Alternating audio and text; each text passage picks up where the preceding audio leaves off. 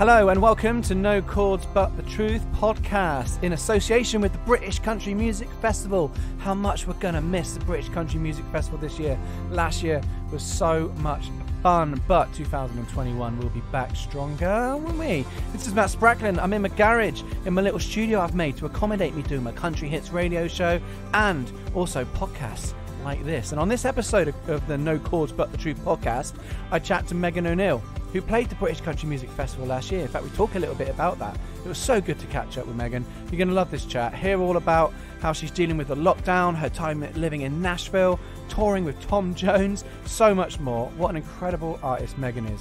It's always a joy to talk music with her. Enjoy. Well, it's a big glass, actually. Oh, so jealous. Go get something. Ah.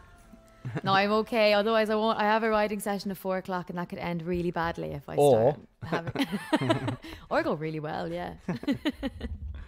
Well, Megan O'Neill, uh, thanks for joining me on the No Chords But the Truth podcast. How you doing? I'm good. Thanks for having me, Matt. That's all right. Um, I want to jump straight in because I, I feel like every interview, every chat, every conversation, even just picking up the phone to a mate, always starts with, uh, "Where in the world are you?" and "How are you surviving lockdown?" So is that where we're going? That's where we're going straight in with that lockdown Straight chat. in. Um, I am in Ireland, and I'm very, I'm very lucky. Really, I live like in the middle of nowhere, and and sometimes that can be a pain in the ass. But actually, during lockdown, that's lovely because we've got fields and rivers and lots of space. Um, and lockdown has been. I think in the first few weeks, I was like, "This is great. I'm gonna get so much done." yeah. And now I'm like, oh God, I'm really sick of it now. I miss playing shows. I've spoken to a few artists that are like, "Yeah, I'm just gonna. I've got time to write, and I got all this." But like, do, do, uh, uh, have you lost inspiration for writing, Ma- or massively. have you? Just because there's less going on. Well, it's like I have an album finished. So I don't have the like my album is ready to go and Right. is going to come out in September time. So I'm kind of thinking like by the time I actually get around to recording another album, it's a year away. And there's a frustration in that. There's a frustration in even thinking about like I'm not going to play a show till next April. And you know, keeping your motivation up when that's where your mind's going is impossible.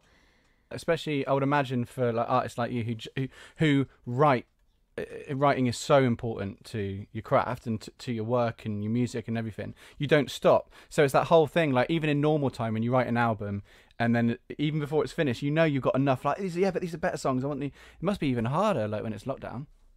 Because you can't Yeah. do anything with them. Well, I think I'm not like, trying to rub it in. I'm just gonna leave now. um, no, there's definitely like I have been writing, and at the beginning I was doing loads. Like I was doing, you know, a couple of sessions on my own a week, and I was doing Skype writes every week, and I was like, "This is great," thinking like this would only go on for a month. yeah So I was like, this is amazing. I'm going to get loads done. I'm going to write the next record. But then as the weeks go on, like I'm still doing, you know, probably writing one or two songs every week, yeah but that wouldn't be much in comparison to what I would be used to. So yeah, it's just, I don't know. I think I'm, I'm trying to busy myself in other ways, you know, and like create video content and do like behind the song videos and live acoustic videos for all the new album tracks and I was, stuff like that. I was going to say are there benefits from it like you turning any negatives into positives in that way Yeah, I'm trying to I'm trying to say to myself like, look, Megan, you've written songs every other day for the last decade. Like, enjoy an element of this break where Yeah. actually Yeah. you can't do anything. You can't be out like this year for me was going to be my busiest year ever as a touring musician. Um, like I had shows solidly from mid Feb until mid November, and so that's a kicker. yeah right. Yeah, but you know, like I'm trying to say, look, this might be the only break that you actually get because Yeah. you know, we know that the music industry is an absolute dogfight. So when everything's when all the wheels are turning, you can't take a break. Hmm. So there's an element of me being like, you know what, if I want to take a day off, I'm going to take a day off because Have you done how many live streams have you done?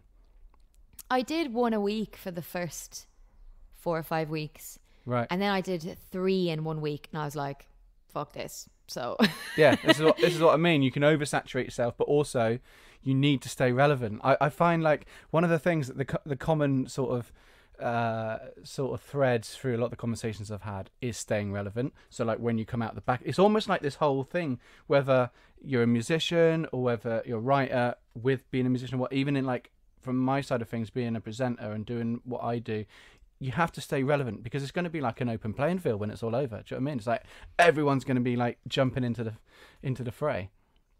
So you do have to find that balance. You do, and unfortunately, the music industry, like being an artist or being a presenter, actually being anyone creative, it all feeds off momentum. Yeah. So when you have that momentum, and I really felt like I had it before this all crashed. Like I had so many shows. I had two records coming out this year. One I was featured on all the tracks, and one I was, uh, which is mine, and like was touring, and we had tours in New Zealand and Australia and everywhere that weren't even announced yet. So, like when you feel like you've and and you know you've booked those shows eight to twelve months in advance, so you're like I was definitely at the beginning of this year being like yes like so much momentum. I signed with a new agency I signed with a new lawyer I was meeting like loads of managers and I was like this is this is it like this is the year. And when that's taken away from you and you have absolutely no no power like it's not your fault it's just gone that's difficult a. But yeah b you have to be like okay I need to find a way to still make this work for me. Mm. And still whether that's releasing new songs which I've done which has actually worked quite well for me or creating video content or just doing something actually totally different. Like I don't even know. Like I've started doing behind the song videos which I probably wouldn't have done because I would have been on tour and not had the time. So it's trying to find other ways, but you know, you get pissed off as well because you're like, yeah, it's hard. There's so much. Like every time I go onto Instagram and there's 20 live streams happening, Yeah, exactly. it actually it actually makes me come off Instagram. yeah. It just they're just it's just in your face all the time. Yeah, that's the thing. I mean, social media. Uh, uh, there's obviously a, a point for everyone right at the beginning of all this when because obviously the, the shows have trickled out as well. It's not just been like everything's off until the certain date. You know, festivals been dropping bit by bit. So obviously, so many artists are going live streaming, live streaming, and then like they fill up. And you, you have to you I, I don't know I, I think you've got to be clever in that way and distance yourself and you people panic about not creating enough content. People panic about creating too much content. I don't think there's really a. I don't really think. I think everyone's feeling this out. Thing is, no, it's never happened before. No one's ever had to stay in their house forever before. So it's like, it No. is it is on you, and it is it's fascinating because it seems that everyone I talk to has just got a different way of looking at it, which is brilliant, really. Yeah, I think you know, and and there's definitely an element as well of like like some of my friends who, like a producer that I work that I've worked with plenty, and he's literally the best musician I have ever met across all like he can play every instrument. He's an insane producer and engineer, and he's done nothing since this stopped. And he was like, I just can't. Yeah, Like I just cannot find that motivation and that inspiration. So everyone's everyone's feeling it out really differently. Yeah. Um and like yeah, I think the longer it goes on, the harder it gets to motivate yourself. Yeah, Um like I'm playing guitar every day and guitar is a new a new-ish instrument to me anyway. I only really started playing it live like a year and a half ago. So I'm like, great, this is, you know, I can spend an hour a day like improving this instrument. And then I'm like, I'm not gonna fucking play this instrument live for a year. what am I doing? So, but think how good you'll be then, though. I'll be unbelievable. but like, there's there's definitely that. You know, mm-hmm. I think I think there is a need to feel relevant, but there's also a need to like give yourself a break. yeah, Like we are all being, we're all doing our best, and there's there's this pressure, which is always in this industry. There's always this pressure, but you know, there's this pressure to be like always creating more and writing more and being better and coming out of this with new skills. But like people are losing people they love. People hmm. are getting sick. Like it's not just a time to improve yourself. Whatever you need to do to get through this, do that. And if you can do some live shows in the middle, great. Do a Keith Urban drive-in show. Did you see that? That's crazy. yeah, I'm actually doing a drive-in show. Um, Oh, really? Here, yeah, yeah, with uh, Hudson Taylor and Jamie Lawson. Amazing. Um, they just announced it there the other day in the paper. But um, yeah, so things like that that are coming out of it are super cool. that is You cool. know, new is cool. new way of looking at it. Well, I mean, I feel we've known each other for a year or two. Like, I know, I- I know a fair bit about you. I want to, want to get into it all. But like, where did it start? Like, have you always? I don't know this about you. Like, did you grow up? I was talking to I was talking to Jake Morrell, um, on on one of these podcasts, and he said, "Oh yeah, I started learning guitar about you know 16, 17. I was like, "What? Really?" Do you know what I mean? Like, that felt late. But like, what was it for you? Were you always? You come from a musical family. What's the whole? What's the whole background there? Yeah, so I um I grew up in a, a typical like Irish family where everybody sings and everybody plays an instrument Oh, and amazing. You'd go down to the pub when you were 10 years old with like a bag of Tayto and playing pool in the back room and everyone would be playing instruments like pulling fiddles out of their bags and it was just a that's just how it is here.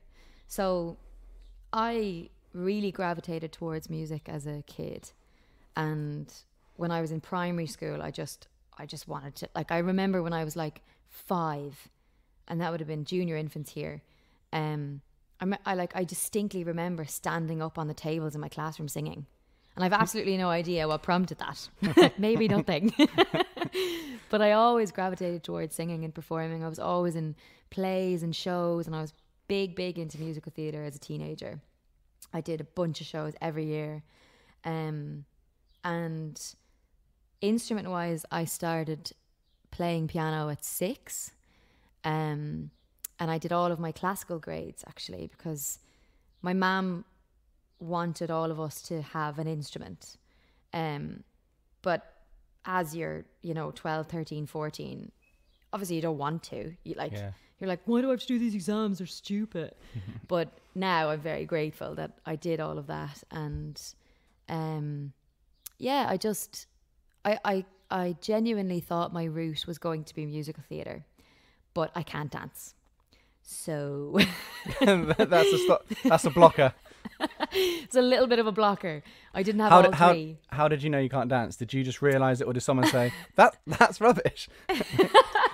well, on a lot of the shows that I did, I, I got the lead role, but that Right. was due to my voice. Like that was hmm. completely due to my singing, and they were just like minimize the amount of dances I had to be in. and I was like, right, this is a sign. But when I um when it came to going to college and I was 18 and I thought I I wanted to do a course in drama and acting. Um, but the course that I actually wanted, which is in Trinity College, um, shut down the year I wanted to start it, which is such a shame because it was like a lot of amazing actors went went through that program um, and come out of Ireland. But anyway, so I went and I studied psychology um, at UCD, University College Dublin, and I was there three weeks, and I got a scholarship for singing that I didn't even know existed before I went to the college. Um, again, it was my mum who was like, Megan, did you know they have a singing scholarship at UCD? I was like, no, I didn't. And she was like, well, the auditions are this week, so you better get your ass down there. so um, I went down and I auditioned, and I got it the three consecutive years I was at uni. Um, and that was kind of the. I had been writing songs since I was about 14, and I'd been in like punk bands and rock bands and Really? pop bands. Oh, like everything you can, everything. I tried everything when I was See, I didn't this about you. Yeah, I did some rock bands, um, but I never really looked rock. Like the blonde hair and the blue eyes didn't really make me stand out in the rock world. Really, I should have dyed my hair black. But um, I did all of that, and then when I went to uni, the scholarship singing took over because we did competitions and traveled around the world um, singing as this small choral group. And that was like insane training. Like it was like an intensive course in singing for three years. Amazing. My psychology degree completely fell by the wayside. the singing got way more attention, but I did finish it. Um, and then when I graduated, I was like, right, I've gotten my real degree um, as my parents wanted me to get. Because in Ireland, it's free. Like third level education is basically free. Right. Um, so they were like, look, just go, go to college, get that education, and then you can do whatever you want. So I came home. Um, I was 21. I'd finished uni, and I was like, right, I'm moving to Nashville. My parents were like, what is going on? Um, and then that's kind of where it all started for me. So I I, le- I left um, the uh, the day, day after my graduation um, in September of 2012, I believe, and um, I moved out to Nashville, and then I How- moved from there to London. So it all just kind of rolled from there, really. So how long were you in Nashville for? I was there for the guts of two years. Right. Yeah. Just just what? Writing, playing in bars. Yeah, doing the I whole didn't- thing? I didn't even do that much playing. I just wrote like an, a maniac. I just wanted to really understand the craft of songwriting, and I felt like Nashville. Like I loved country music, but I hadn't really decided that was where I was going to go at all. Um, I grew up listening to a lot of country and a lot of American country because my mom was big into that, but I knew I always kind of leant more towards the like folky Americana country. So it wasn't Yeah. like the straight down the middle. But I just loved that style of songwriting and I loved so many of the songwriters there. So I was like, great, I'll just go and, you know, try and get into as many rooms as I can. And I was really fortunate with the people that I met. I got like completely taken under the wing of um, some publishing companies there and they just put me in, you know, two rooms a day, every day, every day of the week. And I just wrote loads. and I came home a couple of times, like in the meantime, for visas and renewal of visas and that kind of thing. Um, but it was an amazing experience. It was very humbling because I came from actually getting like everything I went for in Ireland, I almost got, you know? Yeah. because Ireland's small and I'm from a small part of Ireland. So when it came to shows or that scholarship or like being in bands or it was easy for me. Yeah. And then I went to Nashville and I was like, oh shit, Yeah. this is the real deal. But I mean, I know a lot of people that say, "Well, go to Nashville. Have you been to Dub?" Like that whole feeling of like walking down the streets and people are playing bars. I mean, you know, anyone that hasn't walked around Temple Bar on a on a Thursday, Friday night, do you know what I mean? It's just like it's, it's one. It's it's up there for me. I love it.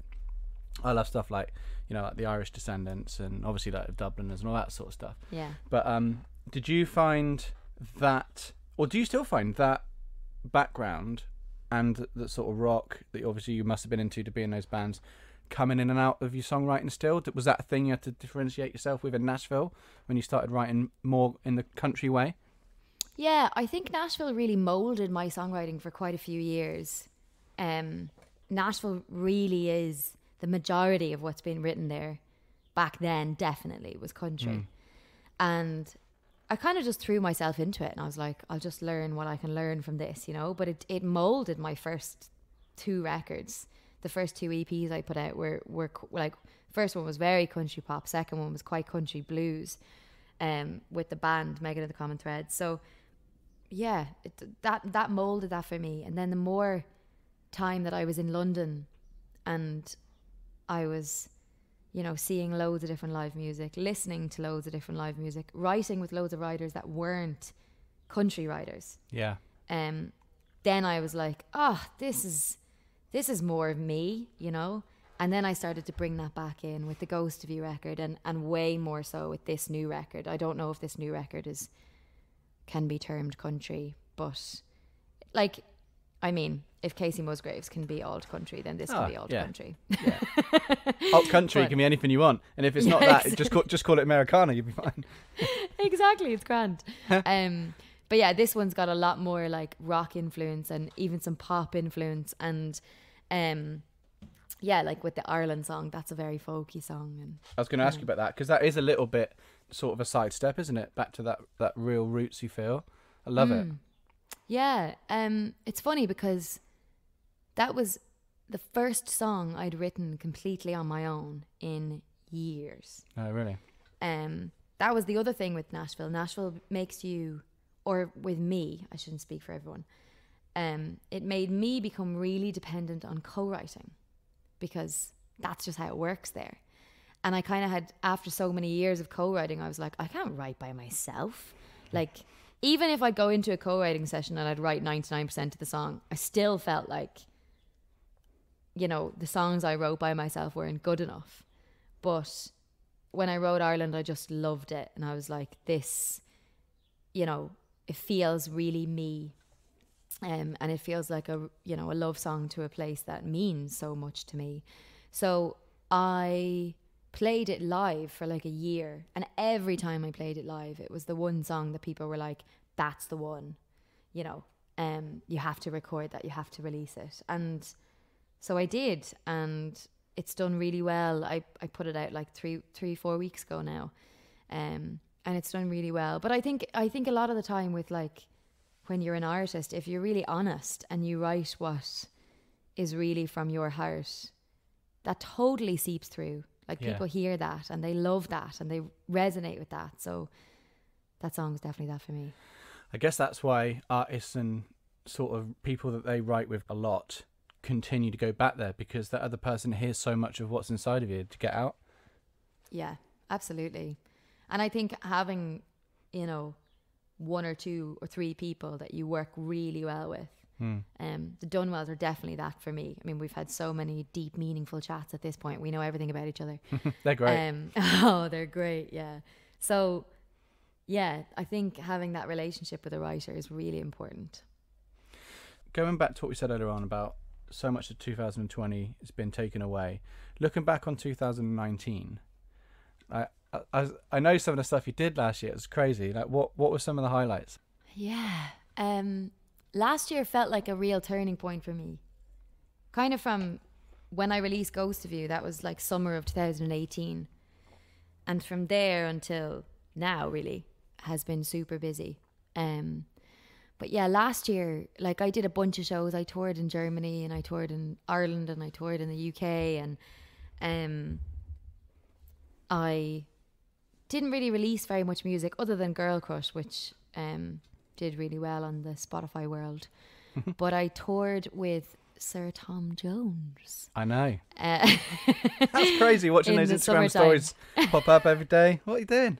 I know it was crazy. Um, oh, it was absolutely amazing. It's like last July would have been, um, and we were actually pitching to tour with him again this summer because he was supposed to be over in Ireland doing like two or three really Ah. big shows, but not anymore. Um, but yeah, we did like fifteen thousand people a night, which was bonkers, and I think the first show was in Bristol. Yeah, the first show was Bristol, which was fifteen thousand in like a cricket stadium or something. Really? Um, but it was I, I was so anxious all day. Like I wouldn't really get nervous right before walking on stage, but I was like really stressed. Like couldn't eat anything. um, but then once you get once you get on stage and you sing that first song, you're like, ah, okay, I've done this a hundred times. This is fine. Um, but it was really surreal and just mad, mad. Do you get to meet him much on the on that tour? I did, yeah. Um, we had like the third show, we were in uh, Colchester, and we had a really lovely chat. And he like took one of my albums, and he said he'd heard like, um, he said he'd heard a few of the set, like a few songs on the set, and he really liked them. And he was an absolute gentleman, like really lovely man. But you know when you like stare at someone like that in person, and Yeah. they're a complete legend, you're like. I don't actually know. Like this is weird. I, I was um and I, I could come back to what I said earlier on. I know you know know a fair bit about you and that, but I still went to your website today and just thought I'm just going to pop up on a few things. What's this about? Private Grammy party? Was it a Grammy party or something in LA? Oh yeah. What's that about? Um, this is a few years ago, and um, there's an organization called the US Irish Alliance, which brings together um, people who work in it's it's across a lot of you know sectors, but a lot of creatives who are Irish or work in the US, um, are American but work in Ireland, or are have Irish ancestry, um, but are living and working in America, and they throw this big Oscars party every year Oscars. in Oscars party, was. yeah, That's what. in um in LA, and I played at it. so it was in- incredibly like pinch me moment because it was it's J.J. Abrams um Bad Robot Studios, which is in Santa Monica, um and you know the parties on like these rooftops and you just it's just crazy. And there's like cocktail it's insane. But that particular year they were honoring um Stephen Fry and uh is it Jeremy Corbyn? No? Corbyn. Corbyn, what the the Labour politician? no. Jeremy, I got that wrong. Jeremy It'll come to me. no, he presents uh, one of the like late night shows in the US. James Corden? Big, big, no, that's isn't he not UK? Yeah, he's UK. Yeah. Jimmy Yeah. Fallon. Jimmy Fallon. Oh no, we're Jimmy getting Fallon closer though. Big beard, didn't he? Don't think it's Jimmy. Oh, Fallon. oh, I know, I know you mean. Uh, no, I know exactly what you mean. I can see his face. I can see his face. I I'm can go- see his face as I'm well. gonna, go- I'm gonna Google it. um, and Carrie Fisher. Oh yeah. So this was the year. It was 2015. So it was the year that the brand new Star Wars were starting to come out, and obviously that's all J.J. Abrams. So way. the security of this party was absolutely insane because um, there were loads of Star Wars fans trying to break into the studio to get, you know, like sneak peeks as to what was happening yeah. with the new movies and everything. Um, but yeah, it was crazy. We were on like all the Star Wars cast were there, um, old and new. And at the time, I hate to say it because I actually hate myself for it now. I had never seen any of the Star Wars, any. So I didn't know who anybody was, and um, but now, years later, I've watched every Star Wars, and I'm like kicking myself that I didn't get to have a photo with everyone and say hi. Oh man, have you watched them all now? I've watched them all now. They're so good. I don't. I don't think I've watched any since. You know, obviously there's the first three, and then that time when they brought the first one out, which is obviously the first. I, I saw that, but I don't think I've seen anything since. Oh, you're missing out, Matt. Yeah, thing is though, if you watch them now, have you got to watch all the other ones first again to get it? No, Really? no. Ah, okay, well, maybe I'll watch one at some point. Well, you've all the time in the world now. You should probably do it. yeah, exactly. Yeah, I have not got all the time in the world. That's the thing. I, f- I found myself busier than ever. It's crazy. Jimmy Kimmel was it? Jimmy Kimmel? No, Oh, in that case, I got absolutely no idea. David, David Letterman. no. Oh, Didn't he I'll take just- over? He took over David Letterman, though. Oh, I think. you're gonna you're gonna Google it. I Who took over David Letterman? Stephen Colbert. Ah. That's him. He was there. I didn't know he had a beard. He he grew a big big beard the year of that party for whatever reason. How how how did you find the uh, British Country Music Festival? Oh, I thought it was amazing. It's cool to play the first one. Yeah, really cool. I actually spoke um, about this in an interview the other day as well, and I just thought like I'm so sad that it's not back this year with Corona, but you know I think they did an amazing job for the first year of the festival and just brilliant acts. I love seeing a festival that's actually championing, championing, um, like local artists because you have all these other country festivals and they're just all American headliners, and you're like, guys, come on, you know, support support the actual acts that you have here. Um, and I felt like British Country Music Festival really did that, and the setting was amazing. God, that big Um, room. Oh, just stunning. It was so cool. good. It's great for me because like sometimes I feel like, you know, what I do with country hits and stuff as well. I feel like I should know everyone, uh, you know, know who they are. But when you go to a festival and you and you find some names, you're like, oh, I didn't know these even existed. Amazing. I loved it. I, I'm going to Mm. miss it this year as well. I really will miss it. Ghost of You. I feel that that's a defining song. Like, do you feel that's? I mean, only for me because it's the first song I ever heard of yours, and I I think I told this on Country Hits. You put, you may have even heard me say it, but it was one one like a long journey on a train, and it was one of those things to come back to Spotify where it just recommended you after I'd listened to something else. I was like, oh yeah, Megan O'Neill. Keep me to listen to Megan O'Neill, and it popped up with Ghost of You, and I was like, wow, this is amazing. I, I do feel there's something about that song as a listener of your music, but it, has has it been one of those sort of defining songs for you as an artist, or has it just been one that's you know on the on the on the record and that's that? No, I think it's been a really defining one. Hmm. It's definitely the one that like sometimes when you play it at a gig, people are like, "Ah, yes," and they all like recognize the intro and they all love it. And it's not. It's funny because it, I don't think it was the one I would have thought. Right. That happens a lot, though. I feel like I have bad judgment on which of my songs are actually going to do really well. um, but yeah, I, I mean, I love that song, and for me, it's funny because that's it. Definitely sounds like a breakup song, but for me, that song was was very much so about needing to shed layers myself, Hmm. um, and almost needing to like deal with ghosts of my past, like ghosts of myself. Um, but yeah, it's a like I love it, and I, I I love that whole record. That whole record for me was the first record I'd made without compromising at all. Hmm. Like I had no management at the time.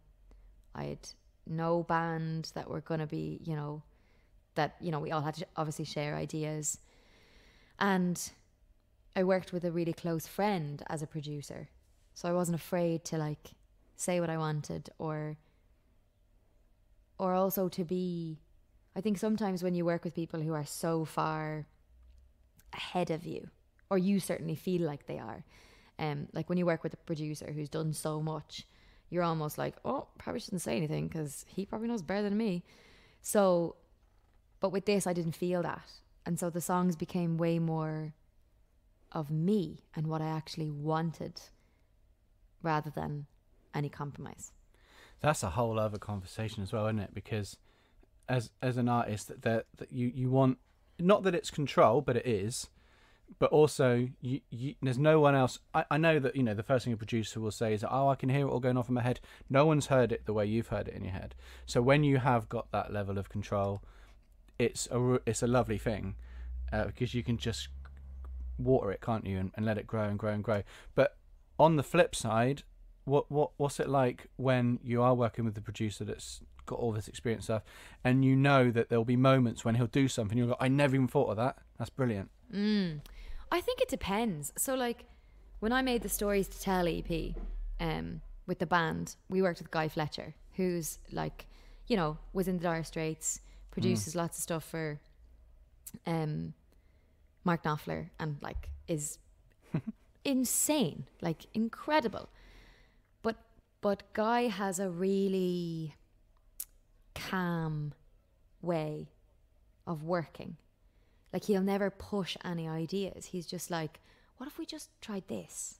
Or what if we just, you know, maybe tried this bassline or whatever? Like, and you're just like, oh, I love you.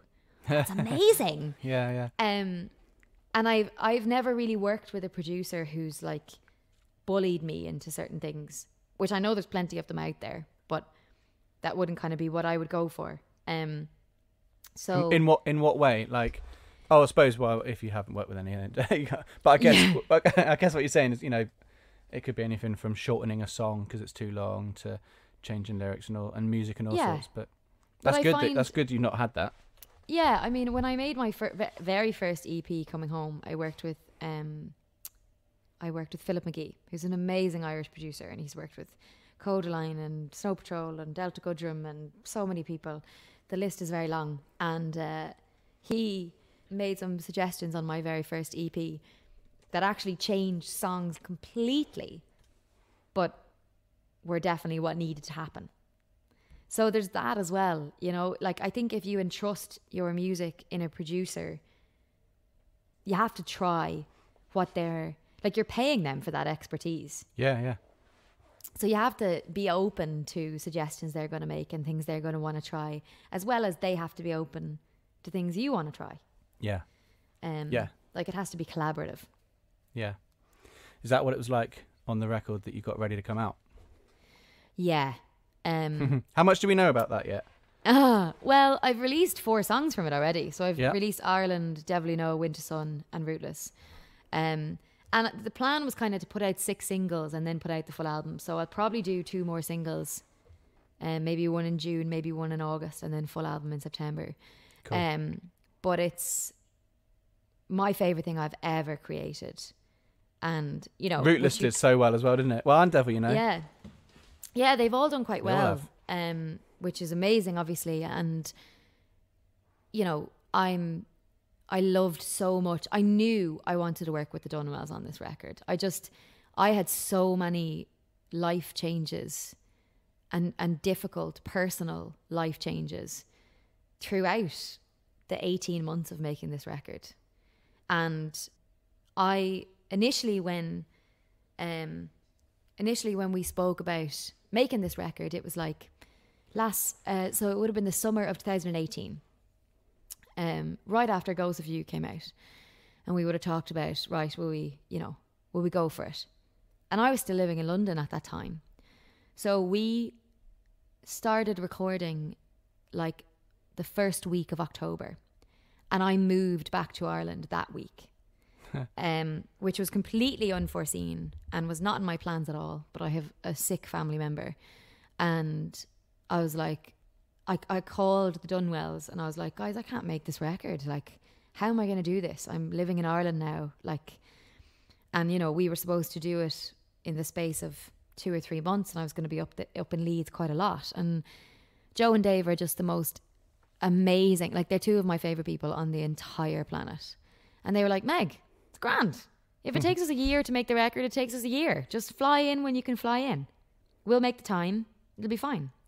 So throughout from like October of 2018 until January of this year, we were making that record. Um, well, actually, really until March of this year because that's when we finished all the mixing and mastering. Um, and I just flew to Leeds for a week out of every month, um, which was mad, but actually amazing. And um, it was so therapeutic and so explore explorative exploratory um we started I, I went in there with about 40 songs i think and i went in being like i don't know if i've written a full album but you know here's loads of songs. And they were like fuck's sake megan that's like 40. three albums. So we picked our favorite 14 that then became 13 um which is the album is 12 tracks and one bonus really. Um and they were amazing to work with because they let me totally take my time and also making a record that way meant we'd do a load of work in a week on say three songs and then i'd go away and i'd listen to those for for four weeks hmm. and then I'd go back and be like, I actually don't like that anymore, or I want to change that lyric, or I have a different idea for that. And there was never any time pressure. There was never any pressure of like, oh, we can't, we can't redo that. It was like whatever we needed to do. It was like, great, let's scrap the whole thing and start again. Let's just forget about that four days work, you know. So it was an amazing ma- way to make a record, and there were so many wonderful people involved we had Lucy Revis come in and do cello, live cello on a couple of tracks. Um, Todd Doyle here did in Ireland. He did drums. Dave and Joe obviously were, you know, above and beyond and played All loads it. of different things. Yeah, and their vo- their vocals all over everything as well is just amazing. Um, and we had Lewis Warren come in and play electric guitar and just everything from like the creation of it to then the mixing and the mastering of it, which was done in Ireland and the US. Like, it's just so many good people involved. Um, I can't wait to hear it in full. yeah, I'm very excited. Have you got a release date for it? Not yet. Um, Not even in the your plan. head. I'm not yeah, asking. I'm not asking for a for a secret. for a sneaky preview. um, the plan originally was September, October, but then because of everything that happened with Corona, you know, I spoke to my team about it and we were like, ooh, do we put it out? You know, If the whole process has been that chilled making the record, then you've got time, haven't you? You don't you don't need to feel that pressure, I guess. yeah, but I also feel like, unfortunately, with an album, like it does get old in your own head. And this is the, this is the thing, yeah. This is what Yeah. we, what we kicked off with. There's definitely an element of like needing to put it out for me. Yeah. Like I need that to just be out in the world now because to me it's done. And I don't want to push it off another 6 months and then put it out, but in my head actually already be wanting to put out newer material. So Yeah. I've just decided I'm putting it out Mm-hmm. either September or October. We're just going to do it. It's going to be great. we'll know a lot more by then. Yeah, exactly. We'll know a lot more by then. What are you listening to at the moment? What's what's inspiring you, or what's what, what, like if you just had to sit down like and put a record on now? You got you get you get a glass of wine or whiskey or whatever. Put a record on. What's Mm. your go-to? Um, I've actually been listening. This will probably surprise you. I've actually been listening a load in the last year to the 1975. Oh yeah, cool. I love them so much, and they're so vastly different from anything I do. Um, but I love them. But yeah, like I listen to a lot of Brandi Carlile, um, Yeah. Ruston Kelly. Oh yeah. Oh, amazing. Um, I really want to get Dying Star on vinyl, just because I feel like I feel like I've exhausted it so much, and yet I still haven't found its full potential. Do you know what I mean? I need it. I need it on in the dark on vinyl, so I need to get that at some point. But Yeah, I feel that. I, I actually had to take a break from it because I, I listened so much when it first came out and I was like, I I don't want to get sick of these songs. I need to stop. he, yeah, but he's Um, one of those for me that I can't. So like you, I don't know about you, but I have this sort of like bank of artists that if I just don't know what to put, I need to put music on, but I don't know what it is. Ron Sexsmith, Ruston Kelly, like two artists I can go to straight away, put them on. Green Day randomly, like old stuff. Oh, cool. So um, yeah, no effects, but I feel that way about Ryan Adams and I'm so sad that all of that shit came out with him because. And I don't even want it makes me sad to just get into it, but like his music is that for me and has been that for me for like a decade. Like anytime I want to listen to anything, I'm like, yeah, that's the one. Um but yeah, I hate when like then something like that is tainted for you because Yeah. you almost feel guilty for like even thinking about listening to it, you know. I know his his music though. It's a really strange one for me because like for uh, for everything I, I love, so many of my friends for years have been saying, "Oh," and every time it's like a different Ryan Adams album, and I've tried everything, and I just can't. I just have it hasn't clicked with me yet. But Oh. I mean, the Taylor Swift thing was quite cool, but his own, you know, it it it's what. Do you know what? I, do you know who I liken him to? And it's not necessarily sound wise, but I liken him to Brian Fallon. Do you know who Brian Fallon is? No. He sings in a band called the Gaslight Anthem. Oh, I've heard of them. and he's very sort of Springsteen, which is I think where I make that sort of leveler. But yeah, yeah, it's good to have his art you can just put on any time. But that Ruston Kelly album, man, I can't wait for album Oh. three. It's going to be amazing. Mm. He's calling it album two, I guess, isn't he? But technically, it's the third, I suppose. Yeah.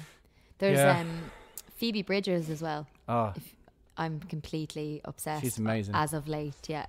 My um at the moment I have two bands, which is really quite weird because I can't fly. So like I have a band in London and I have a band in Ireland because when I tour here, it's just you know easier than flying people everywhere. Um, but my guitarist in my band in Ireland is a massive Phoebe Bridgers fan, and that. he introduced me, and I was like, I can't stop now. she's so good. The the debut album. uh, Has she done anything since that album? Is it just the one album she's still got, or she brought something new out recently? She's, She's done, something. What's the other with the other thing with Conor Oberst? The um, it's got a really long, quite pretentious name. I. Um, Sounds yeah, but right. she's done she's done quite a lot with him as well, which I wouldn't like as much as her as much as her solo stuff, but it's still quite good. Well, I was going to wrap this up on one final question, but actually, I'm not going to because that was such a fun chat. And my last question was going to be, "What's your biggest struggle?" And I'm like, I don't want to end it on like a downer. like as in like with the lockdown and everything going on. I don't I don't even want to talk about struggles, so I'm gonna I'm gonna wipe that out. And this is just it's just been great to catch up with you and It's been You- really great to catch up with you too, Matt. you Really look like you're gonna you're poised to say something. Then you, you have something I was going to say we can end it with a really funny struggle, which is my biggest struggle at the moment is trying not to drink a load of wine every night because I need to like mark my evening somehow. Oh, I don't, I don't struggle with that at all. I'm really good at that. I literally just had a case delivered this morning. I'm well jealous. Oh, it's so hard. Nice one. Thanks, Megan. Thanks so much, Matt. Thanks for listening to this episode of No Chords But the Truth in association with the British Country Music Festival. We would love it if you subscribe to make sure you never miss an episode, and extra love if you'd give us a lovely five star rating. You can even review the podcast and leave a comment with who you'd like to see on. You can find me on social media at Matt Spracklin. See you next time.